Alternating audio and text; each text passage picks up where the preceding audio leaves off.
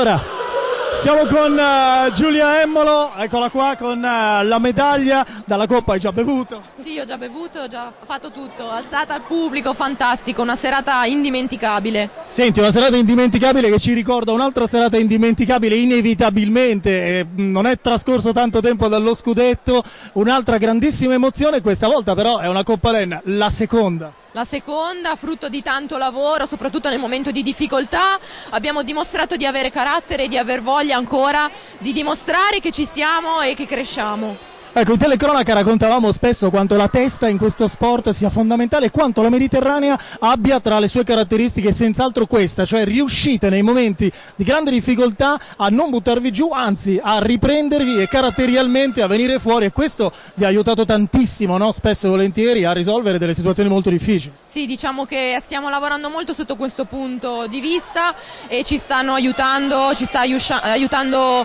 eh, Misha a fare un lavoro di testa, di concentrazione e soprattutto di preparazione alla partita, perché in questo sport, in queste partite, la testa più del fisico fa arrivare le, alle vittorie. C'è una dedica speciale per questa coppa? Al pubblico fantastico e alle mie due nipotine che sono l'amore della mia vita. Allora, vediamo di Marco Capanna, eccolo qua, ciao Marco insomma un altro, un'altra straordinaria soddisfazione, come tutte le soddisfazioni ci è voluta la forza, ci è voluto il carattere, ci è voluta la testa, come dicevamo prima con Giulia, però alla fine un risultato splendido. Splendido, eh, la grossa soddisfazione per me è quella di vederle così contente.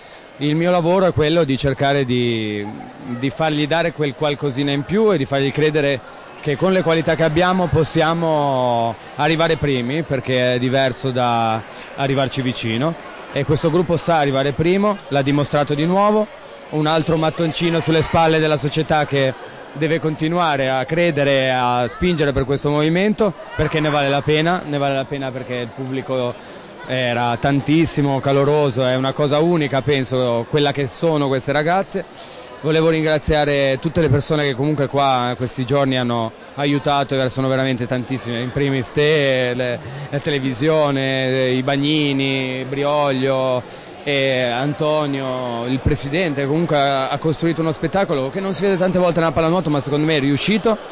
E poi il mio pensiero personale va a Maurino perché ci tenevo che vivesse un'emozione non troppo forte ma positiva. ha rischiato perché l'emozione è stata fortissima. La forte negativa poteva essere rischiosa, invece questa è stata positiva e io continuo a essere fiero delle ragazze, ora hanno due giorni di riposo, io iniziamo a pensare a Messina perché vogliamo fare bene. Eh, infatti so che tu sei lungimirante in questo pensi già a quello che deve venire perché non è finita qui, nonostante sia incredibile pensarlo, ma non è finita qui. Ci sono poi playoff scudetto che si stanno avvicinando, quindi è vero adesso la festa, ma tutto un impegno importante per puntare evidentemente anche a qualcosa di notevole per i playoff. No, c'è la fase più difficile e più bella e incontriamo un avversario molto forte, organizzato, che ha fatto tanti acquisti, che ha ambizione, quindi sarà molto difficile, però sono anche fiducioso che fra due settimane saremo ancora più forti di adesso e già quello che si è visto oggi è bello.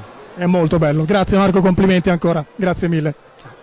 Una grande emozione, eh, non è la prima naturalmente, questa fa il paio con lo scudetto, ho vinto lo scorso anno eh, contro sempre il Padova che quest'anno però diciamo la verità vi ha messo in difficoltà durante il campionato, eh, ma poi alla fine Assolutamente, il Padova è una grandissima squadra, già l'anno scorso aver vinto lo scudetto a gara 3, il 5 a 4 l'ultima gara qua, eh, e quest'anno di nuovo ci continuiamo a, a, scontrare, quindi vuol dire che eh, da entrambe le, le parti eh, diciamo che c'è qualità quindi bene, meglio, meglio per il campionato italiano, meglio per, eh, per, per tutto.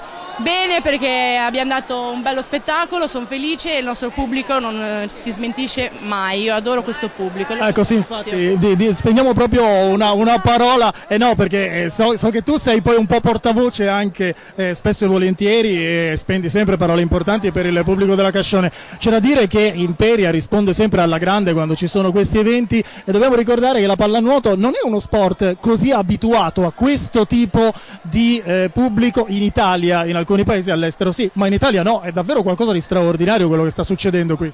Hai ragione te, eh, diciamo che questo, tutto questo ambiente si è creato nel, nel, nel corso degli anni, quindi eh, pian piano siamo riusciti a, a conquistarci le, le, persone, i tifosi, e amici che sono venuti la prima volta, si sono appassionati subito perché erano tutti euforici, quindi sono felice, li ringrazio perché è, anche, è soprattutto grazie a loro che noi riusciamo a vincere queste partite perché loro ce l'hanno quella carica in più.